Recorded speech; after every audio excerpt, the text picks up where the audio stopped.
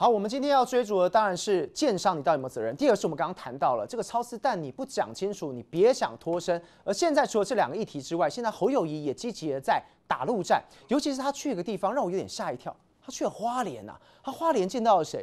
见到傅昆奇啊，哎，奇怪，他们两个不是有心结吗？难道这个心结解了吗？看到这张图没有？傅昆奇拉他的手，我支持侯友谊，在九月七号的时候，我们一起支持党提名的侯友谊市长。哇，厉害了！难道侯友谊也把花莲这一块拼图给整合完成了吗？另外，侯友谊也去拜会了议长，啊，这个议长原本是国民党的，后来变成无党籍，好，叫做张俊。那张俊也说，哦，我也是力挺侯友谊的。哎，不过厉害喽，他的太太叫做廖家瑜，反而是接任了柯文哲女力后援会长。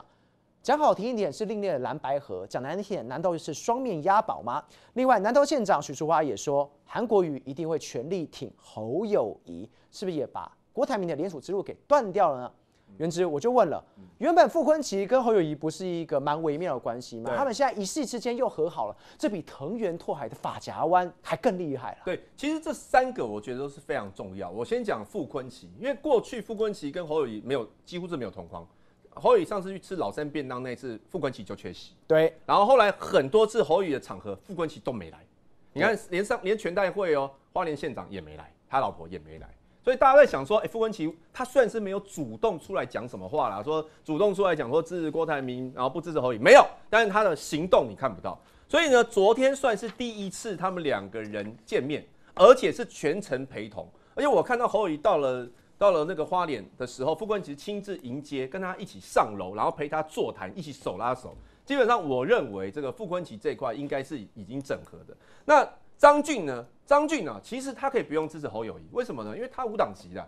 你说，如果你硬要见缝插针，你还可以讲说，哎呀，这个萧敬言他是国民党籍的，他你是也这个不是很愿意支持侯友谊，但是因为他被怕被党纪处分，所以他才要支持侯友谊。如果要见缝插针，可以这样讲。可是人家张俊是无党籍呢，那他无党籍的情况下，他的老婆已经是支持民众党了，他要干嘛去演这一出？所以我也认为说，张俊实际上是真的去支持侯。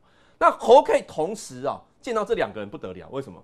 因为傅昆奇和张俊是不合的，有心结的，有心结，两人不合的，不合的人可以共同支持你啊，那那那就厉害了。所以，我我觉得花莲这一块是是有整合。许淑华部分的话，是他因为许淑华跟韩国瑜的关系大家都非常清楚，他们常常在接触嘛，所以他他这样子讲啊，说韩国瑜会请全力扶选侯，这其实我认为韩国瑜本来就是会扶选侯，只是大家就会一直怀疑嘛，你们两个之前是有心结，怎样是不愿意。那今天徐华出来讲了嘛，那那就接受嘛。所以我认为侯友宜是往一个好的方向去做，包括他现在做的很多事情都在节奏上了。好，袁志刚提了一个最关键了，其实侯友谊来到花莲能够见到傅昆奇，以及见到这个议长，真的是不简单呐。尤其是我们知道傅昆奇那时候其实挺郭台铭的嘛，挺郭台铭。哎，郭台铭这时候也出招了。我们刚刚不是说什么许淑华也说韩国瑜一定挺侯友谊吗？哎，郭董。厉害了哈，郭董赢了这个诗句了哈，愿意像韩国瑜一样为中华民国粉身碎骨。他呃曝光自己最喜欢的一首诗哈，苟利国家生死以，岂因祸福避趋之。他最后说啊，我要跟前高像韩国瑜一样，愿意为中华民国粉身碎骨。我们现场一样有请大郭黑。这个郭董要改名叫蹭董哦，现在他的策略就是一直蹭，一直蹭，一直蹭，因为他维持声量嘛。我们都知道。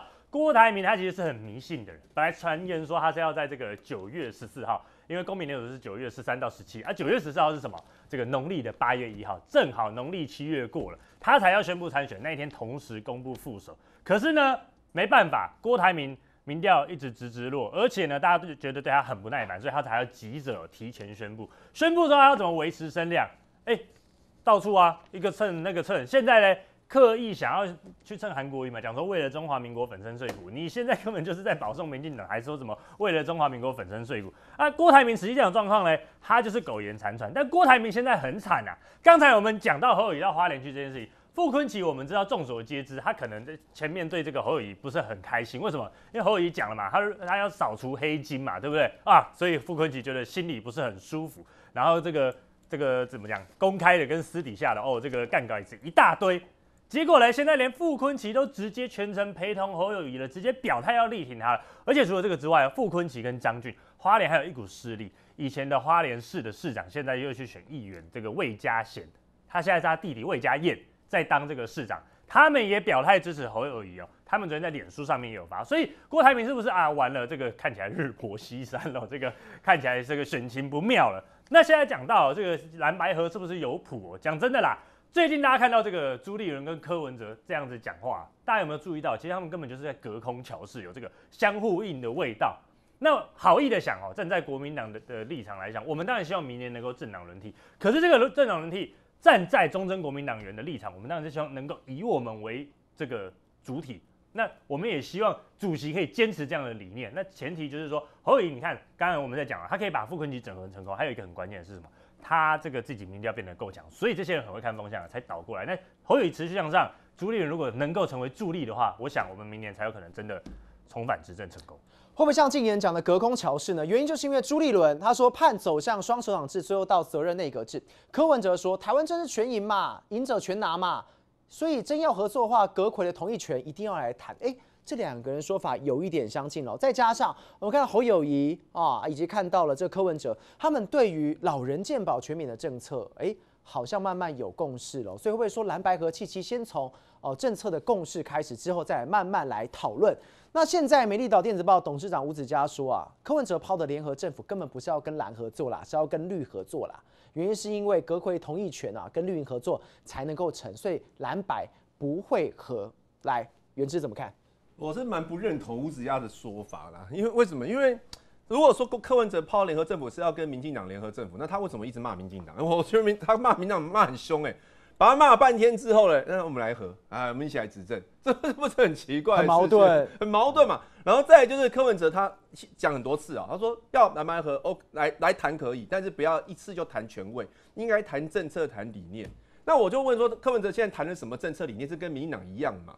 譬如说柯文哲讲说要重启和二，呃，要呃研议嘛，和二和三研议嘛，那民进党是反核的嘛？然后还有就是很多柯文哲的主张都跟民进党不一样，那他到底要怎么跟他谈理念？所以我不觉得他会跟民进党。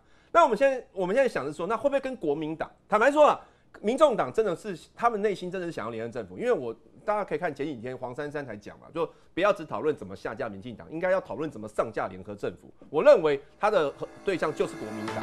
那现在侯友谊跟柯文哲政策很多都一致。比如说巴斯量表，比如说医疗支出八趴，或者是很多两岸关系，或者是能源政策都很一致啊，所以当然要理念一致的联合政府。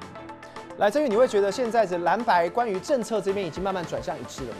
其实我觉得大家可以发现哦，现在蓝白阵营所提出来的政策方向，你有没有发现，现在的执政党沉睡了七年，终于发现了，终于跟进了，我觉得这是好事。所以你说，哎，到底是不是两边的政策开始已经有？周一到周五晚间十点，请锁定《环宇一把抓》。